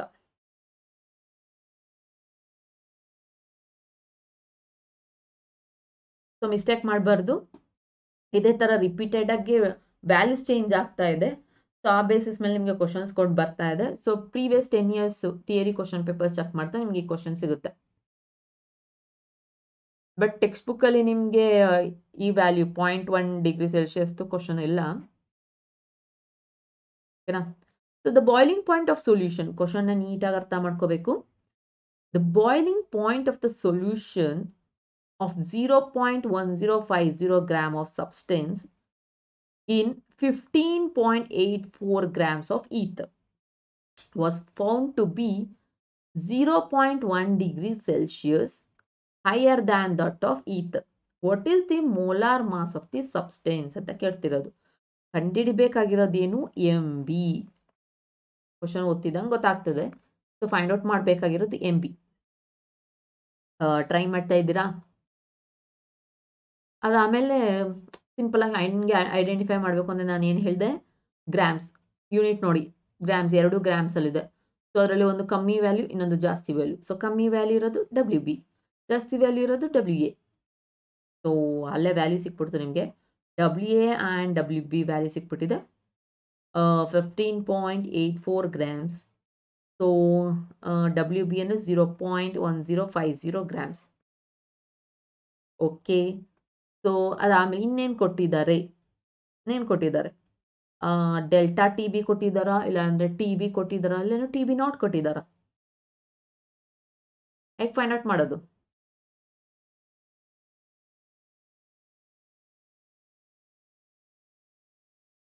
ಹ್ಞೂ so delta T B ಅಂದ ತಕ್ಷಣ ಸೊ ಕಂಪ್ಲೀಟ್ ಆಗಿ ಸೊಲ್ಯೂಷನ್ ಅಲ್ಲಿ mix ಆಗೋಗಿರುತ್ತೆ.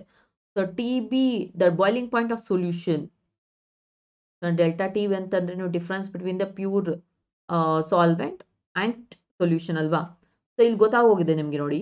The boiling point of solution solution of a substance in ether was found to be ಅಂತ ಕೊಟ್ಟಿರೋದು. ಹಾಗಾಗಿ ಇದು ಏನಾಗುತ್ತೆ? ಇದು ಡೆಲ್ಟಾ ಟಿ ಬಿ ಆಗುತ್ತೆ. ಡೆಲ್ಟಾ ಟಿ ಬಿ ಇದು ಏನು ಕನ್ವರ್ಷನ್ ಮಾಡಬೇಡಿ zero point one degree Celsius ಏನಿದೆ ಹಾಗೆ ತಗೋಬೇಕದು zero point one degree so ಕೆಲ್ವಿನ್ಗೆ ಏನು ಕನ್ವರ್ಟ್ ಮಾಡೋಕೆ ಹೋಗ್ಬಿಡಿ, ಯಾಕಂದರೆ ಅದೆರಡು ಮೈನಸ್ ಮಾಡಿಕೊಟ್ಟಿರೋದು. ಸೊ ಇಲ್ಲಿ ಕೆಲವೊಂದು ಸತಿ ಎರಡು ಟೆಂಪ್ರೇಚರ್ ಕೊಟ್ಟಿರ್ತಾರೆ T B minus T B naught so ಎರಡು ಟೆಂಪರೇಚರ್ ಕೊಟ್ಟಾಗ ಡಿಗ್ರಿ ಸೆಲ್ಸಿಯಸ್ ಅಲ್ಲಾರು ಕೆಲ್ವಿನಲ್ಲಿ ಕೆಲ್ವಿನಲ್ಲಾರು ಕೊಡಿ, ಎರಡು ಮೈನಸ್ ಮಾಡ್ಬಿಟ್ಟು ನಿಮಗೆ ವ್ಯಾಲ್ಯೂ ಸಿಗುತ್ತೆ. ಹೌದಲ್ವಾ? ವ್ಯಾಲ್ಯೂ ಸಿಗುತ್ತೆ. ಈಗ ಅವ್ರು ಏನು ಮಾಡಿದ್ದಾರೆ, ಅವರೇ ಎರಡು ಡಿಫ್ರೆನ್ಸ್ ತೆಗೆದು ಕೊಟ್ಟಿರೋ ವ್ಯಾಲ್ಯೂ ಇದು zero point one degree Celsius ಅಂತ. ಸೊ ಹಾಗಾಗಿ ಏನು ಕನ್ವರ್ಟ್ ಮಾಡೋಕೆ ಹೋಗ್ಬೇಡಿ ಡೆಲ್ಟಾ ಟಿ ಬಿ ಡೈರೆಕ್ಟಾಗಿ ಝೀರೋ ಪಾಯಿಂಟ್ ಒನ್ ಅಂತ ತಗೊಳ್ಳಿ. ಓಕೆನಾ ಯಾಕಂದರೆ ಕೆಲ್ವಿನ್ ಅಂತ ಕನ್ ಇದೆರಡು ವ್ಯಾಲ್ಯೂ ಕೆಲ್ವಿನ್ ಆ ಥರ ಕನ್ವರ್ಟ್ ಮಾಡಿಕೊಂಡ್ರು ಸೇಮ್ ಡಿಫ್ರೆನ್ಸ್ ಬರುತ್ತೆ. ಡಿಗ್ರಿ ಸೆಲ್ಸಿಯಸ್ ಇಟ್ಕೊಂಡು ಡಿಫ್ರೆನ್ಸ್ ತೆಗೆದ್ರು ಸೇಮ್ ಬರುತ್ತೆ. ಹಾಗಾಗಿ ಅವ್ರು ಫಸ್ಟೇ ಕೊಟ್ಟಿದ್ದಾರೆ delta T B so one thirty four ಅಂತ ಹೇಳ್ತಿದ್ದೀರಾ? Okay right answer one thirty four so apply ಮಾಡೋಣ ಈಗ? M B M B okay so K B value ಏನಿದೆ? Sorry two point zero two into W B zero point one zero five zero into thousand divided by W A W A fifteen point eight four and temperature zero point one ಇಲ್ಲಿ ಯಾವುದೇ ಕಾರಣಕ್ಕೂ mistake ಮಾಡೋಕೆ ಹೋಗ್ಬಿಡಿ, ಇಲ್ಲೇ mistake ಮಾಡೋದು ನೀವು. So ಹಾಗೆ mistake ಮಾಡೋಕೆ ಹೋಗ್ಬಿಡಿ. And the final answer is one thirty four ಅಂತ ಹೇಳಿದ್ದಾರೆ. Yes one thirty three point nine something ಎಲ್ಲ ಬರುತ್ತೆ. Okay so one thirty four or one thirty three point nine approximately one thirty four gram per mole ಓಕೆನಾ unit gram per mole I hope ಎಲ್ಲರಿಗೂ ಅರ್ಥ ಆಗಿದೆ ಅಂತ. Okay the final ಹೋಗೋಣ. So last one so ಇದು ಕೂಡ ebullioscopic constant that is ಯಾವುದಕ್ಕೆ? Elevation in boiling ಪಾಯಿಂಟ್ಗೆ ಬರೋ ಕ್ವಶನೆ ಸೊ ಇದನ್ನು ಟ್ರೈ ಮಾಡ್ತೀರಾ? ಏನು ಚೇಂಜಸ್ ಇದೆ ಇದು?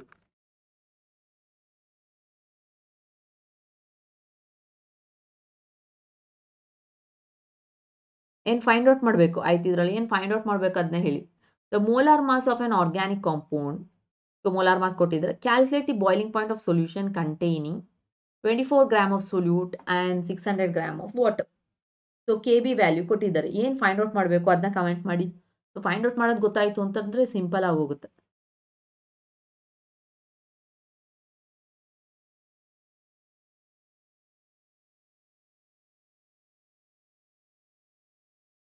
ಏನು ಫೈಂಡ್ ಔಟ್ ಮಾಡಬೇಕು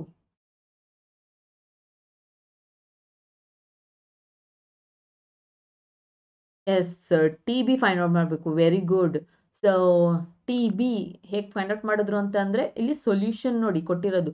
Calculate the boiling point of solution so ಹಾಗಾಗಿ ಇದು ಟಿ ಬಿ ಫೈಂಡ್ ಔಟ್ ಮಾಡಬೇಕು. ಓಕೆನಾ ಓಕೆ ಹಾಗಾದರೆ ಟ್ರೈ ಮಾಡಿ. The molar mass of organic compound so molar mass ಕೊಟ್ಟಿರೋದಿಲ್ಲಿ that is M B organic compound ಅಂತ ಹೇಳಿದ್ದಾರೆ ಅಲ್ಲಿ ಏನು ಅಂತ ಹೇಳಿಲ್ಲ, ಅವರೇ ಮೋಲಾರ್ ಮಾಸ್ ಕೊಟ್ಬಿಟ್ಟಿದ್ದಾರೆ. ಸೊ ಎಂ ಬಿ ಸೊಲ್ಯೂಟ್ ಆಯಿತು molar mass okay calculate the boiling point of a solution ಅಂತ ಹೇಳ್ತಿದ್ದಾರೆ.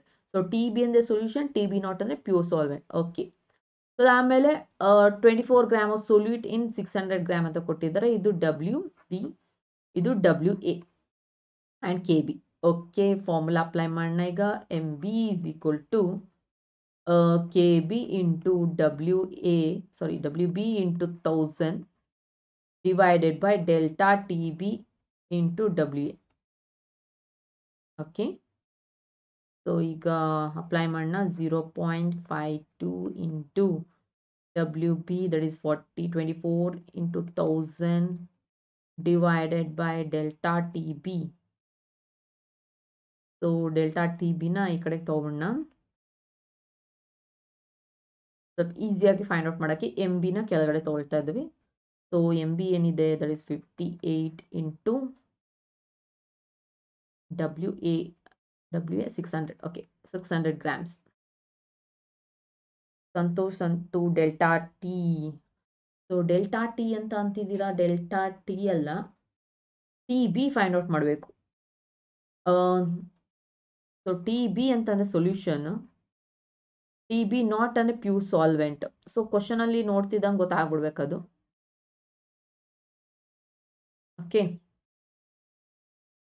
ಓಕೆ, ಈಗ delta T B first find out ಮಾಡ್ಕೊಳ್ಳೋಣ. ಇವಾಗ ಡೆಲ್ಟಾ ಟಿ ಬಿ ಅಂತಂದ್ರೇನು? T B minus T B naught, right? ಅದರಲ್ಲಿ T B ನಮಗೆ ಬೇಕಾಗಿರೋದು. ಸೊ, ಎಷ್ಟು ಬರುತ್ತೆ value?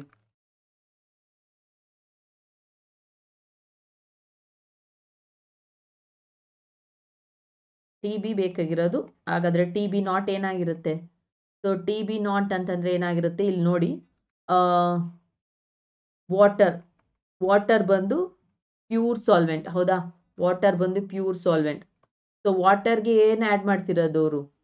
So organic compound add ಮಾಡ್ತಿರ್ತಾರೆ. ಏನು ಅಂತ ಹೇಳಿಲ್ಲ ಅದರಲ್ಲಿ. ಸೊಲ್ಯೂಟ್ ಅಂತ ಅಷ್ಟೇ ಮೆನ್ಷನ್ ಮಾಡಿರೋದು. ಆರ್ಗ್ಯಾನಿಕ್ ಕಾಂಪೌಂಡ್ ಅಂತ ಅಷ್ಟೇ ಮೆನ್ಷನ್ ಮಾಡಿರೋದು.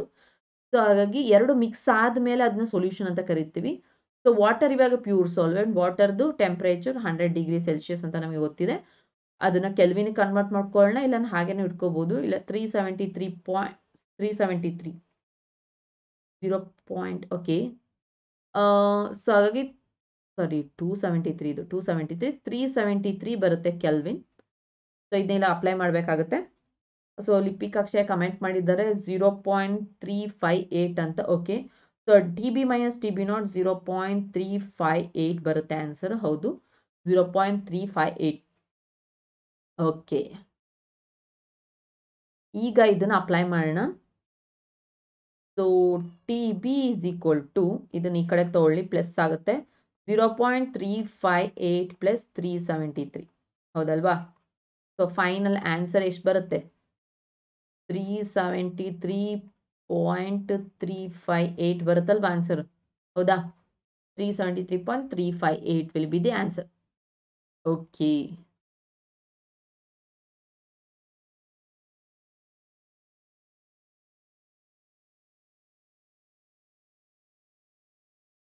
ಅರ್ಥ ಆಗಿದೆ ಅಂತ ಅನ್ಕೊಳ್ತೀನಿ. ಏನಾದ್ರು ಡೌಟ್ಸ್ ಇತ್ತು ಅಂತಂದ್ರೆ ಕೇಳಬಹುದು.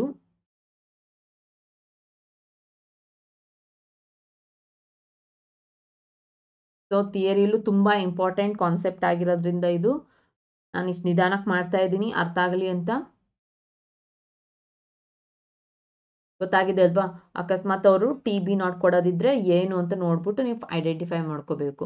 ಸೊ ಹಾಗೆ ಇದೇ ಥರ ಫ್ರೀಸಿಂಗ್ ಪಾಯಿಂಟಲ್ಲೂ ಬರುತ್ತೆ. ಓಕೆನಾ ಕ್ವಶನ್ಸು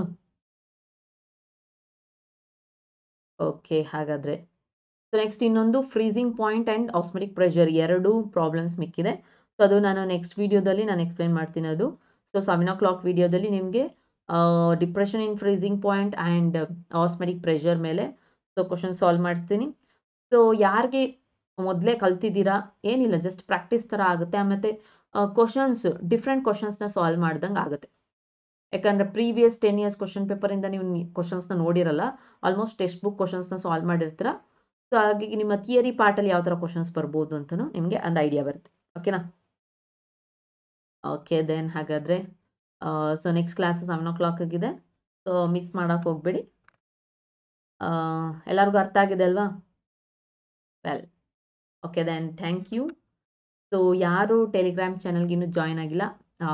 ಬೇಗ ಜಾಯ್ನ್ ಆಗಿಲ್ಲ ಆ್ಯಂಡ್ ಕ್ವಶನ್ಸ್ನ ಆದಷ್ಟು ಪ್ರಾಕ್ಟೀಸ್ ಮಾಡಿ ಸೊಲ್ಯೂಷನ್ ಚಾಪ್ಟರ್ಸ್ದು ಮತ್ತು ಹಾಗೆ ಎಲೆಕ್ಟ್ರೋಕೆಮಿಸ್ಟ್ರಿಯಲ್ಲೂ ನಿಮಗೆ ಪ್ರಾಬ್ಲಮ್ಸ್ ಇದೆ. ಅದು ಕೂಡ ಪ್ರಾಕ್ಟೀಸ್ ಮಾಡಬೇಕು.